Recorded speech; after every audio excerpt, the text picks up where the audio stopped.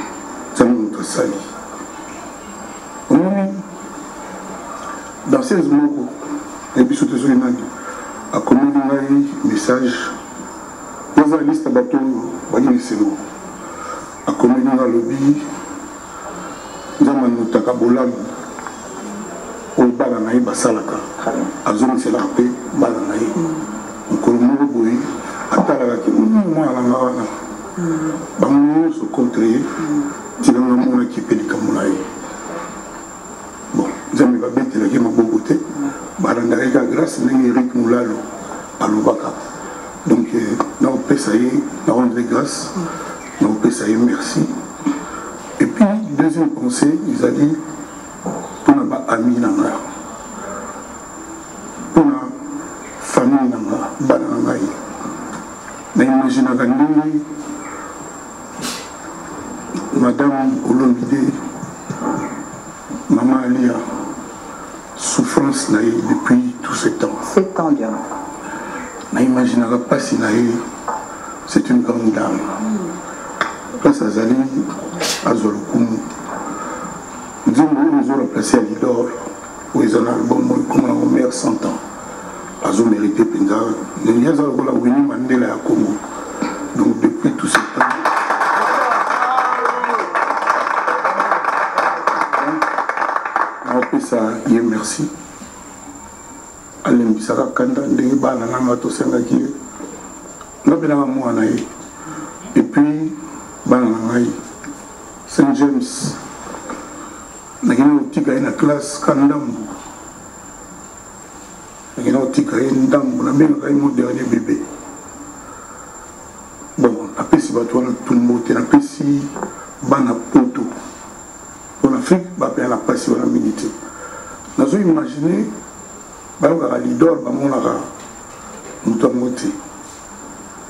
baomona bapapa ngo basuma ndambo ndenge beti bana se bakozango sikoyo soki mpe na stade de france soki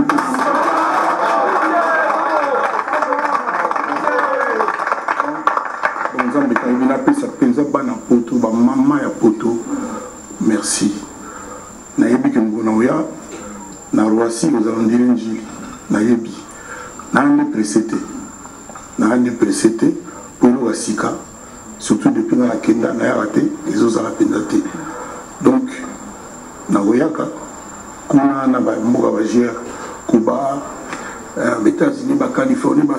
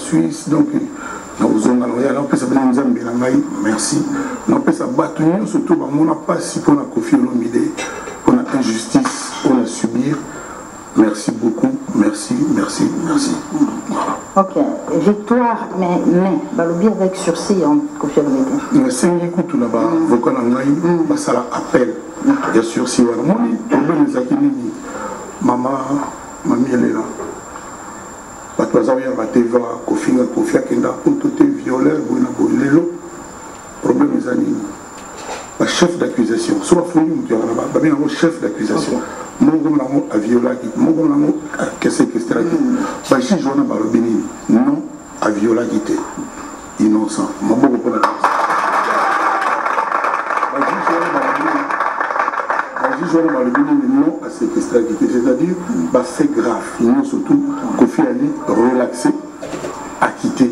non coupable sikoyo problème etikali eza nini bandeko tu boyokanga bato ya congo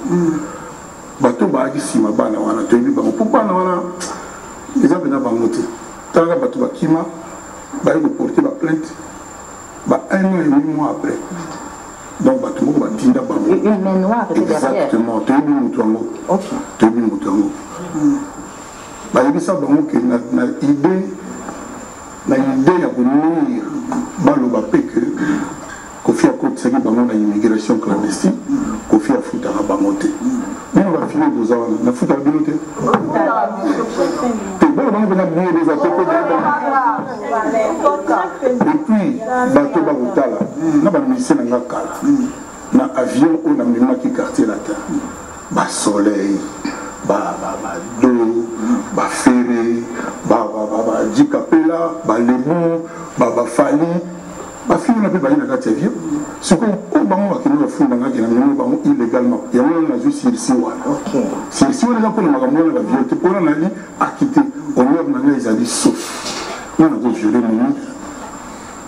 ngai nakoki koviole moyi te mpe nandimi mpe te ke nandimi nga babe te ke leader moko ya miziki akoki koviole danseuse je ne crois pas bobetana balider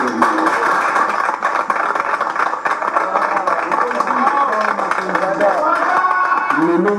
lelo bato ya mitema mabe oyo batelemelaki kaka kofi bayoki ba français nde mutu baye kolitangisa bango à travers volonté ya nzambe que non il n'est pas coupable il est relaxé kombo yango wana relaxé yango na dimanche oyo na chetemba bato tu bana esengo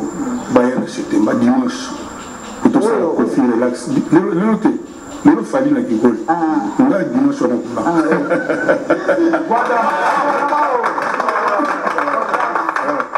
donc biso dimanche nde siko to mwa moke bo nayebi te bamboka nyonso balondre banibeli bafeteke ebele basandaki ya libangelu central bakristian na ngai surtout tuturo bagrand prêtre peti na ngai basalaki bafeti ya bandenge nyonso tout feti fo continue tosali 10 ans boye il faut tolakisa mpenza kena non na rappele mpo na solobi bato ya motema mabe surtout journal moko télévision moko ekomaka bande passante ka contre kofi alors que patron na bango amna fabrika nkombo na ye na komisa ye moto na ndenge ya polémique te bakoma te kofi e akite ene pa bakomba aza na courage na koya kolobaka awa akite sikoyo sursi wana bapeka sursi elingi koloba bakomeli yo me bamonani mpamba okota boloko te me keba bakondane me oleka otali se bosanga lite voilà mpe otala keba donc ceci wana ezali na rien à voir na makambo ezalaa ceci wana ezali poto basisa mpo na bapetite wana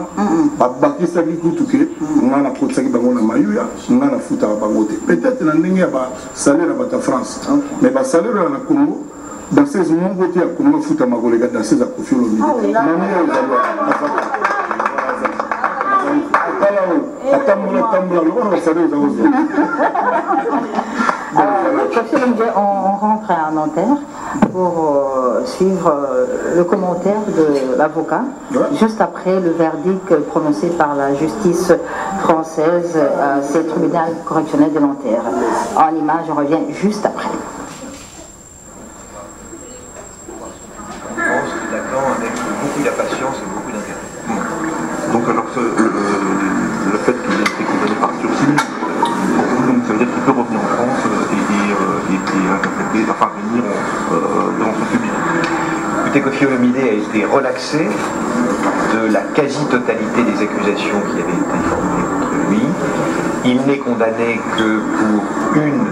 de ses accusatrices, et encore les faits ont été requalifiés.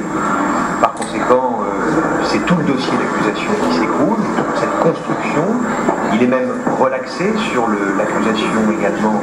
qui très lourde, c'est-à-dire d'avoir séquestré ses lanceuses. Le tribunal a considéré que ceci n'était pas vrai. C'est une victoire éclatante, c'est une entrée qui est tirée par la justice de Nanterre sur toutes ces accusations. Et je regrette d'ailleurs que depuis des années, eh bien, euh, la justice n'ait pas été capable de prendre à sa juste mesure les accusations qui étaient formulées contre Kofi Olomide et de se rendre compte eh bien, qu'elles étaient contradictoires, qu'elles ne tenaient pas la route. Et il a fallu tout ce temps et eh bien, que la justice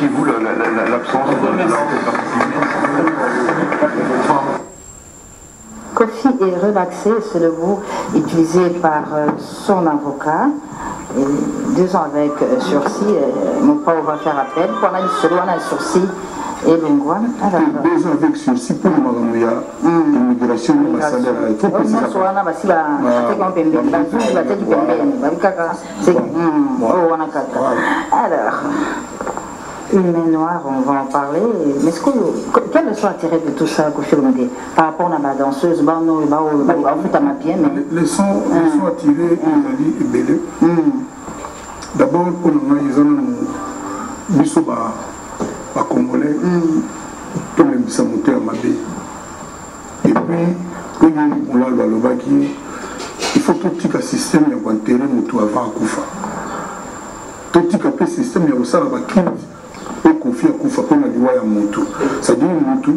eza kaka te ke omoni ekele mosu azolia bien te okanisi mpe ke vi na ye ekosuka kaka bato koliaka te ovi ya motu nzambe kaka nde ayebi ndenge ekosukaka totika moto emoni lelo tobandaki koluka ke achangement mpe kotala mboka na biso tokoma na président sika soki topesi ye maboko te soki tosangani te soki totiki kolobaloba te soki totiki parce que congolais aza champion namituna lelo oyo nini nini toloba te me tolobaka kaka totika motema mabe mboka moko te na mokili moko abilaki l'échec azofinga le premier bale 44 na bale 53 bazocourage l'échec wana seli baencourageaka te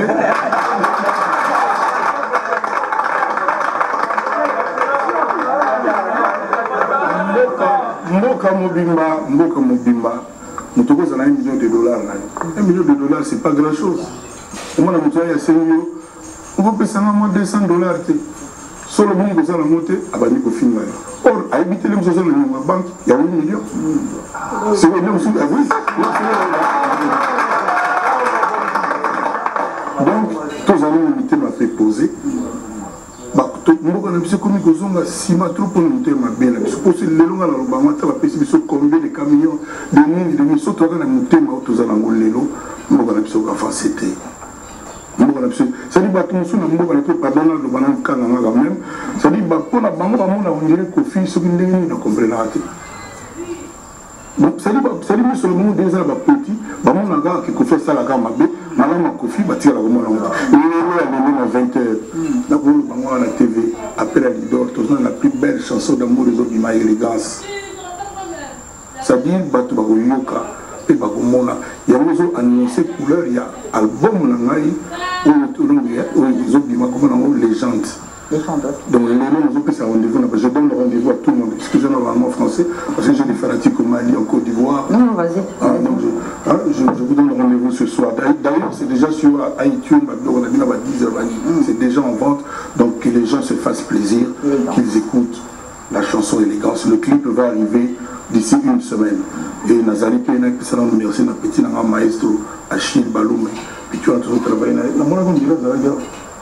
maestro chi merci na ye bwa place azali napesa mpe merci na ye mai katendi c'est-à-dire bapetit tout to travaille na bango petit mwana ye kodécouvrir obi jesi donc ngai na besoin batikala nasa mosala nazosenga na bato oyo baza na bapoto banini bazala kame mpo moziki nangai ekomaki kaka karaoke na poto bato bayaka betango na mwana neti neti kaka boye apartir ya sikoyo bazala pose mpona date to mpona date ya bien tokobeta yango bamama ya paris bamama wana hmm. so na bandi kotanga na kobosa na mosusu baloris bakwasa akunzi bamosusu naye babosa na bakombo balusi ya sasa eh, eh, moto ayeba bango bien sandelaka azali donc napesi bango merci bazala pose original eza koya tobeta yango bapeti na nga oyo basalaki ke quartier la te kombo elimwa te na poto basi baza kobetaka oyo quartier la te je les salue je les remercie donc baosalela yango mabe te Hein, il y a un mabete, mais tozoya, naza koya. Bato ya quartier la toyo. Bino mona kutu la bino ni.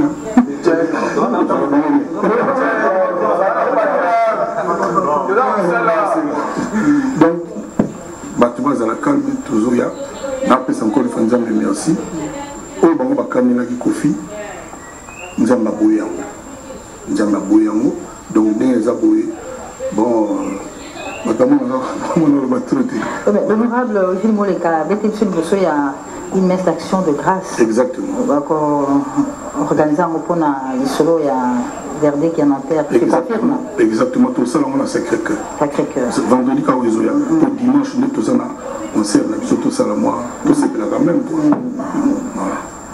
Kushiro midi, relax.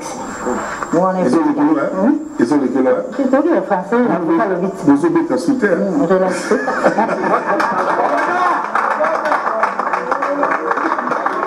Vraiment maman Rifa na Londres mbote ya trop. sepela bie ya na yo yo mama la jolie de jolie nadege tuturo baleki na ngai petit frère na ngai patron na ngai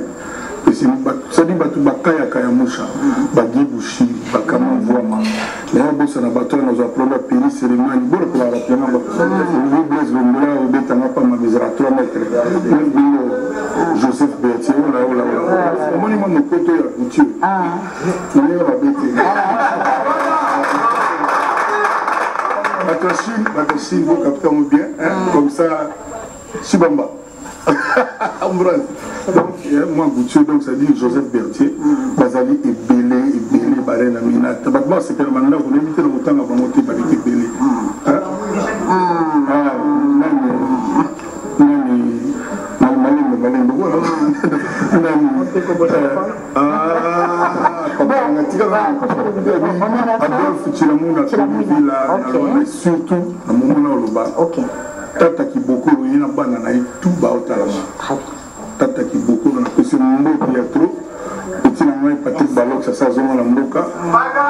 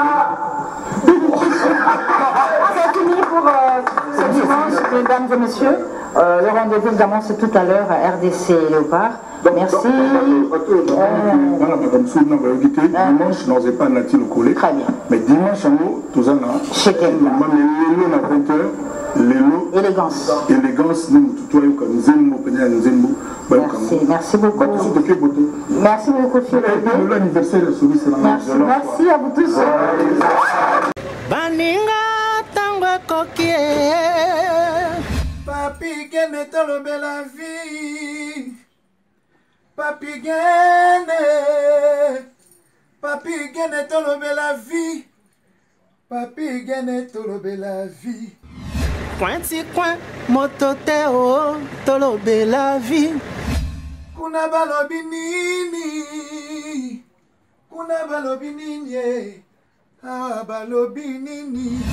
veut dire tolobela vie papi gene papi gene tolobela vie papi gene tolobela vie